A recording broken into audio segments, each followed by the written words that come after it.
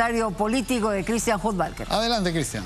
Gracias, Mónica. Pedro, amigos, muy buenas noches. Arrancamos el comentario político y, claro, el tema este, de la semana entre varios, en verdad, pero, claro, fue la novedad respecto a la eh, salida de Alberto Fujimori de eh, prisión por el indulto humanitario que le otorgó Pedro Pablo Kuczynski allá en el año 2017. A ver, mucho se ha mencionado, ¿no? Pero, a ver, mi punto de vista, yo estoy de acuerdo con el tema del indulto a Alberto Fujimori, pero sin embargo sí creo que las observaciones de la Corte tienen algo de asidero.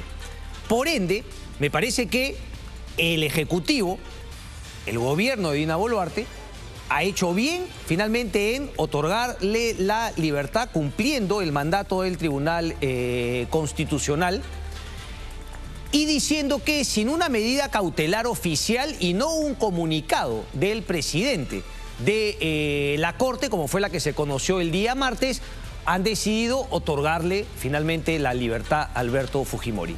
Pero habría que ser tonto y sí habría que finalmente estar, digamos, yendo en contra de los tratados internacionales que ha firmado el Estado eh, peruano, si esta solución del gobierno de Dina Boluarte, del Ejecutivo, no iría en la línea de decir, bueno, yo también voy a tener que defender la posición que he decidido, y es darle el indulto humanitario y liberar a Alberto Fujimori.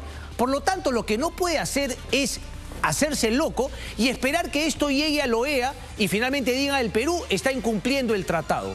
Tiene que presentarse ante la Corte y sustentar y argumentar, es cierto, ya con el hecho consumado de la libertad de Alberto Fujimori, pero tiene que dar esa batalla legal que como yo he venido diciendo, también tiene algo de política e ideológica, porque desgraciadamente, yo lo siento así, en los últimos años la Corte y la Comisión, el sistema interamericano de derechos humanos, desgraciadamente ha sido secuestrado por una ideología.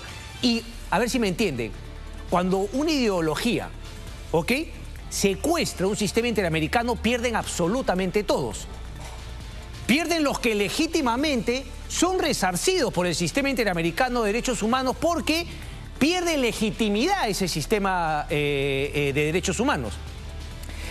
Y sería lo mismo si es que el sistema estuviese tomado no por una izquierda, digamos, no ideologizada, que quiere utilizar la Corte y la Comisión para llevar adelante sus agendas, como también si estuviese tomado por eh, grupos, si se quiere, de derecha.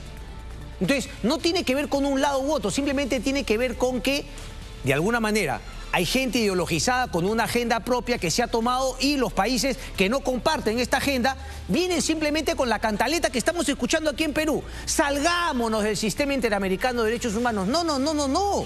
No hay que salirse, sino justamente dar la pelea política, dar la batalla diplomática y desideologizar. La gente me dice, todo el mundo es ideologizado. La gente sabe a qué me, a bien, a qué me refiero cuando hablo de esta ideologización.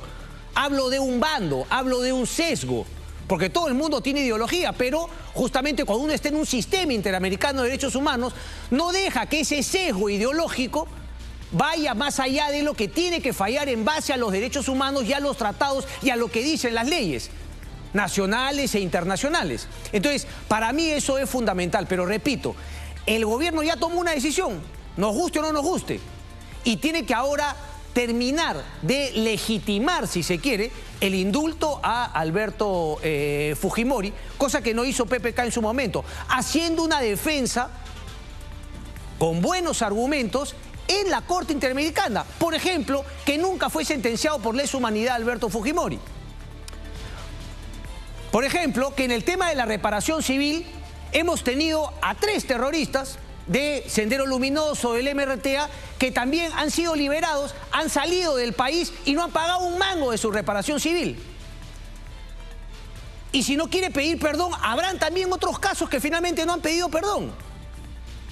Porque si nos ponemos en ese plan de que no es el derecho humano de Alberto Fujimori, sino el que se invoca es el derecho de las víctimas, uno podría también plantear cómo se atreve la Comisión Interamericana de Derechos Humanos a acoger un pedido del terrorista Víctor Polay Campos sin tener en cuenta los derechos de las víctimas de Víctor Polay Campos que no quieren pues o no le parece finalmente que se cumplan los derechos humanos respecto de Víctor Polay. Nos tenemos que hacer los locos Y Alberto Fujimori también tiene su derecho humano, es mayor de edad, etcétera, todo lo que finalmente se planteó en ese indulto humanitario de Pedro Pablo Kuczynski.